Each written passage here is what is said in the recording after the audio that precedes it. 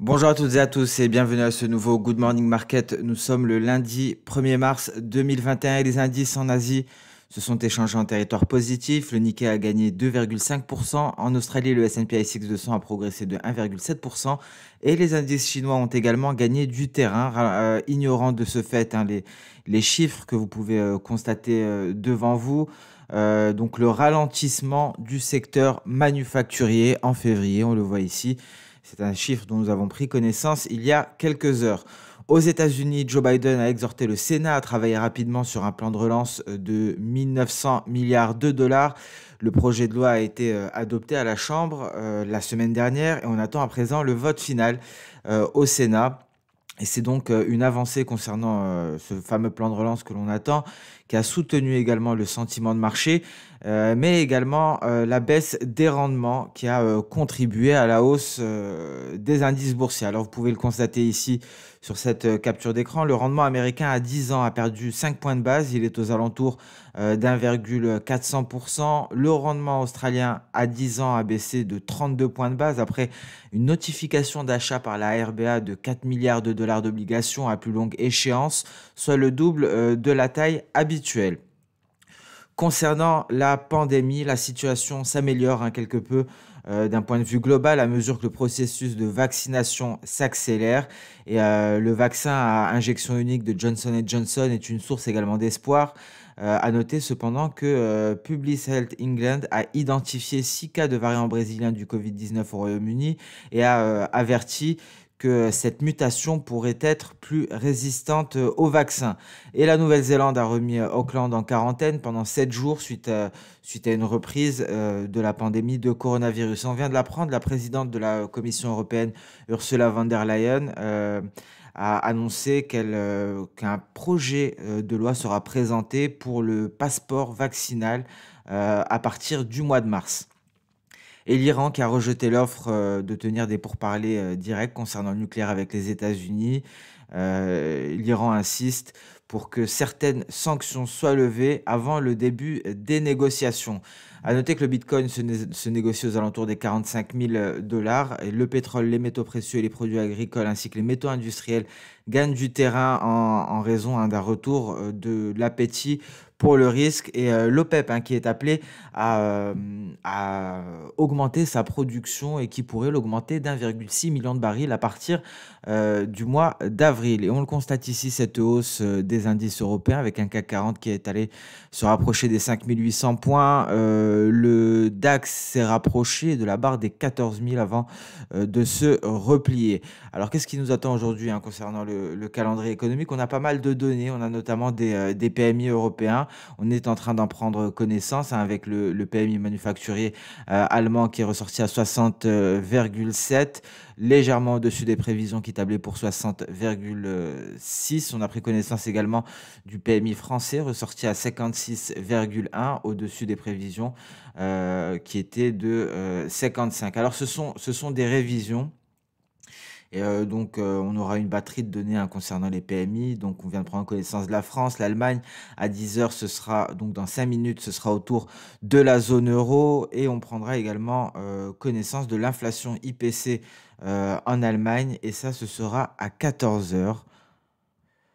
Donc voilà pour le mois de février. Et outre-Atlantique cet après-midi, on prendra connaissance du PMI manufacturier pour le mois de février à 15h45 donc aux États-Unis et de euh, l'ISM manufacturier pour le mois de février. Ce sera à 16h.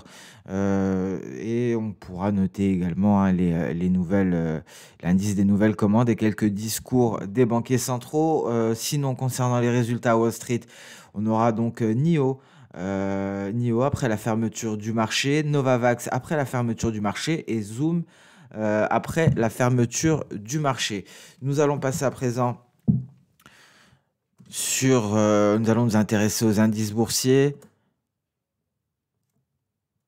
On va commencer par le DAX en données journalières qui a débuté dans le vert aujourd'hui pour aller tester les 14 000 points, pour aller se rapprocher hein, des 14 000 points, on le voit ici.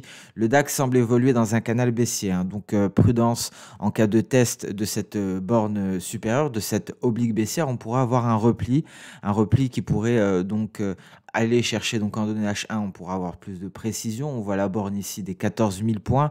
Si on ne parvient pas à s'en affranchir pour aller chercher les 14 060, on pourrait se replier dans un premier temps jusqu'au 13 900 avant d'aller chercher les 13 860 points, 13 850 hein, environ. Ça représente euh, donc ce palier de, de SSB. Donc tout l'enjeu euh, ce matin pour le DAX est de réussir à se hisser au-dessus des 14 000 points, ce qui permettrait un retour en direction des 14 060, voire des 14 euh, 150. Hein. C'est ici le sommet du 12 février. Donc pour l'heure, il faudra franchir cette oblique baissière que l'on peut considérer comme la borne supérieure d'un petit canal baissier qui est en cours de formation sur le DAX allemand. le 40 est allé chercher le haut de son nuage aux alentours des 5800 points. Il n'est pas allé jusqu'aux 5800, mais très proche des 5800. Nous sommes à 5790 euh, à l'heure euh, actuelle. Donc il faudra sortir du nuage concernant le CAC 40 pour espérer aller chercher les 5815 points. Le Nasdaq est en train de se redresser et la, euh, la baisse euh, des rendements américains et du 10 ans américain plus particulièrement permet aux valeurs technologiques de retrouver euh, des couleurs et donc ce qui permet au DAX en données journalières de sortir de son nuage Ishimoku par le haut avec pour objectif les 13 280 points si cette baisse des rendements se poursuit. Euh, d'un point de vue intraday, on aura tout de même une barrière à franchir à 13 200 points et donc ce qui nous permettrait, si on, parvenait à s'en affranchir, d'aller chercher les 13 280, euh, voire les 13 euh, 325 points. On a une autre barrière ici, hein, c'est un palier euh, de SSB visible en données H4. C'est également le sommet, le précédent sommet du 25 février. Ce sont donc les résistances à surveiller en cas d'échec. on pourrait assister à un retour sur la barre psychologique des 13 000 points. C'est euh, c'est aux alentours de notre kit jaune ici en données H4.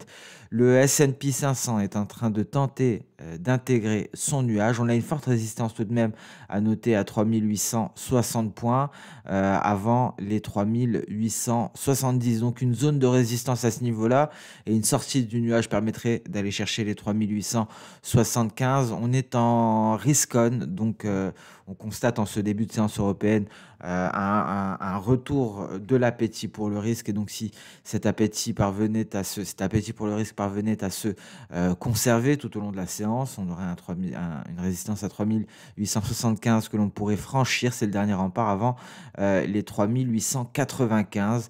Donc, euh, grosso modo, les 3900 points pour le S&P 500. Le Dow Jones également, de, qui a franchi donc sa key jaune, qui retrouve petit à petit des couleurs après avoir marqué un creux aux alentours des 30 890 points. La prochaine cible euh, sera donc les 31 360 points. On notera tout de même hein, euh, ces, nuages que l'on retrouve euh, à Wall Street. Il faut en sortir pour le S&P 500, il faut le franchir pour le Dow Jones. Donc très difficile hein, d'envisager une réelle percée. il y aura quelques difficultés hein, pour, pour s'affranchir de cette zone-là. À noter le Russell 2000 qui progresse fortement. Le Russell 2000 et euh, vient de franchir hein, une résistance, les 2248, il restera les 2260, et après ce sera retour au seuil psychologique des 2300 points.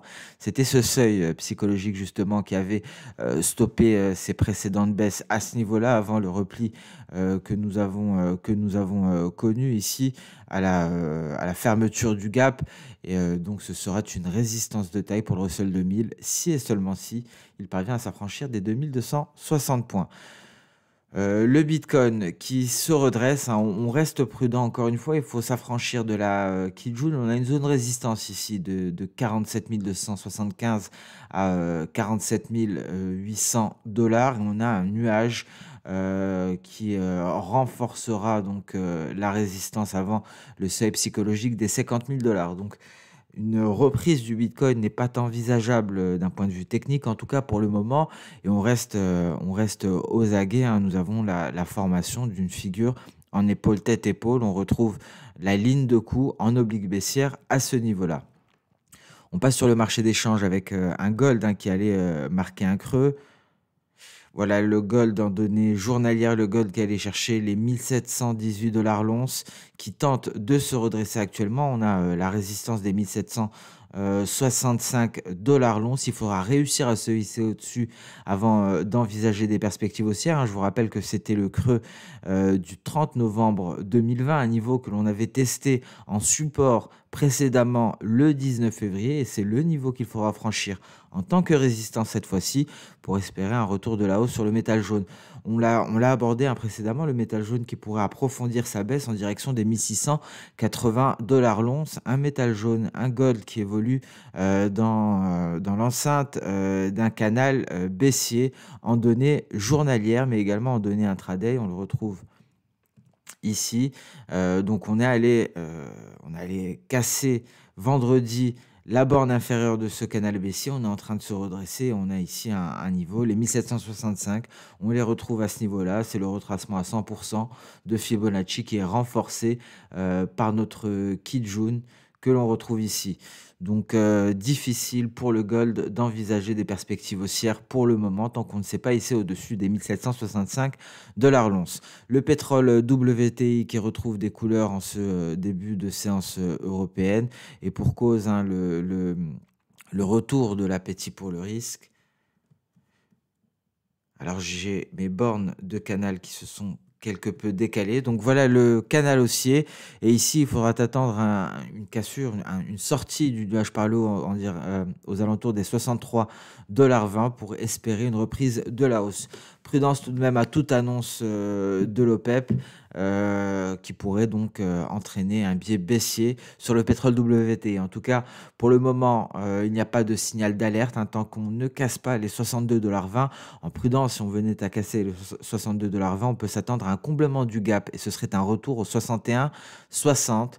Euh, ici, nous sommes plus ou moins à l'équilibre, car d'un point de vue théorique, d'un point de vue Ishimoku, nous sommes à l'intérieur du nuage, et donc il faut attendre une sortie, que ce soit par le haut par le bas. Par le bas, ce serait donc, euh, nous l'avons dit, un franchissement des 62,20$, et par le haut, il faudrait donc réussir à se hisser au-dessus des 63,30$ pour aller chercher les 63,75$ avant de prendre le large en direction des 65 dollars. Le Brent également, même topo, nous sommes dans le nuage, il faudra attendre une cassure ici des 65 dollars 10, plus largement des 65 dollars pour espérer un comblement du, euh, du, gap en direction des 64,50. En revanche, si on sort du nuage par le haut, c'est pour aller chercher les 66,75. Donc le gaz naturel qui rebondit sur la borne inférieure de ce canal euh, haussier hein, avec euh, pour cible les 2.900. C'est la prochaine résistance à aller chercher. On passe à présent sur euh, le marché des changes. Nous allons débuter par le biais vert, un biais vert qui s'est largement redressé, ce qui a entraîné l'euro-dollar en territoire négatif, l'euro-dollar qui a invalider la figure en, euh, en épaule tête épaule inversée, une figure que l'on voit ici en données euh, journalières qui est également visible en données euh, intraday. Elle est invalidée depuis quand hein, Depuis que concrètement, depuis que nous avons franchi cette oblique haussière qui vient relier le sommet de la tête et le sommet de l'épaule droite. Donc perspective baissière à nouveau. D'un point de vue journalier, on pourra aller chercher les 1,20 1,2030 environ. On va avoir plus de précision en données intraday. On le voit depuis le franchissement de l'oblique haussière qui relie le sommet de la tête et le sommet de l'épaule droite. C'est un nouveau signal baissier. On est sur support actuellement, les 1,2050. Euh, c'est plus ou moins euh, ce palier de SSB du nuage. Hein. Je vous rappelle que ici nous avons la SSB et la borne supérieure du nuage, c'est la SSA. Et lorsque la SSB est, en, est à l'horizontale, est en palier comme on dit, euh, c'est un niveau de support. Donc on peut la prolonger, ça nous procure un niveau de support. C'est très exactement ce que nous allons faire. On va constater le support actuel à 1,2050 et un franchissement de ce support nous permettrait d'aller chercher les 1,20 25 environ, donc le sommet euh, de l'épaule droite de notre figure en ETE e qui a été euh, complètement invalidé. Donc perspective baissière, il faudrait un franchissement des 1,2050 pour aller chercher les 1,2025. Euh, dernier rempart avant, vous l'aurez compris ici, le sommet de la tête.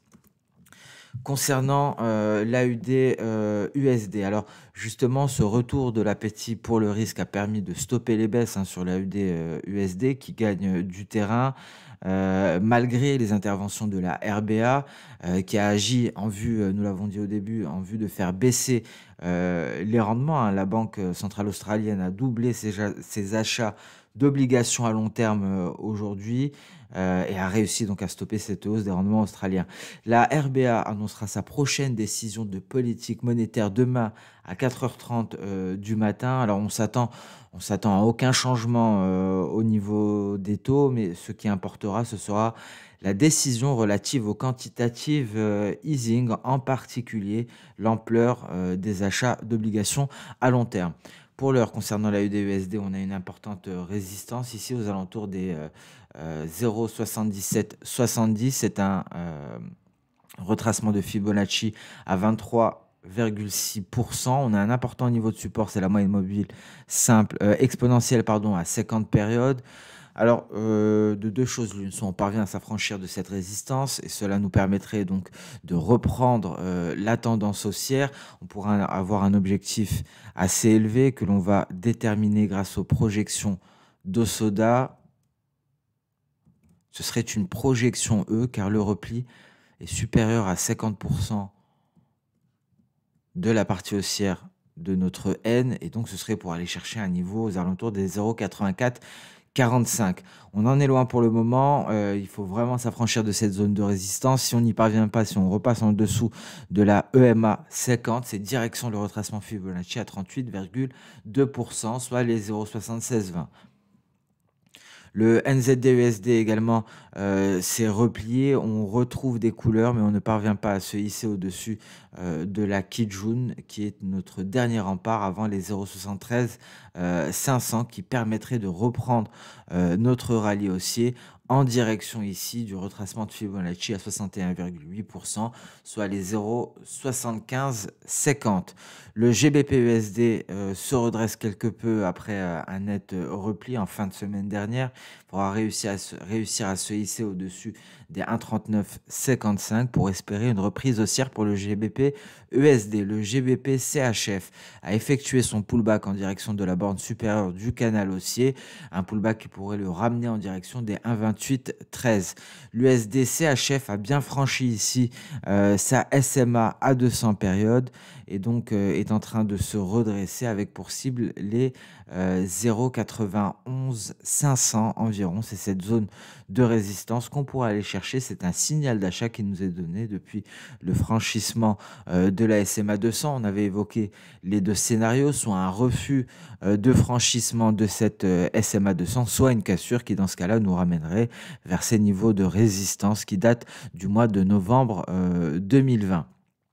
Le cas de CHF après un repli après avoir atteint cette zone de résistance à 0,7265, est en train euh, donc de repartir à la hausse et il repart à l'attaque donc de cette résistance des 0,71 95 euh, précédent sommet du mois de juin 2020 et donc si on s'en affranchit on va chercher ici euh, ce sommet là hein, du 24 février qui est donc notre dernier rempart avant les 0,73 48 et sur sur ce, ce Good Morning Market euh, touche à sa fin. Je vous donne rendez-vous un peu plus tard pour notre euh, vidéo hebdomadaire. Nous allons euh, parler rendement. On va s'intéresser également plus dans le détail justement à ce marché d'échange. Donc sur ce, je vous souhaite une excellente séance de trading. Je vous donne rendez-vous un peu plus tard. N'hésitez pas à liker cette vidéo ou à poser vos questions en commentaire.